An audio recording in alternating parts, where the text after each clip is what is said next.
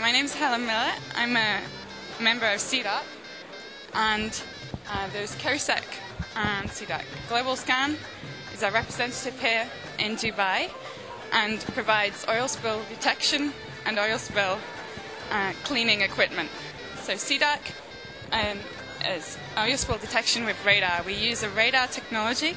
We take information from radar waves and measure the oil spill. We process the clutter instead of removing it like navigational radars. We take the clutter and use that information.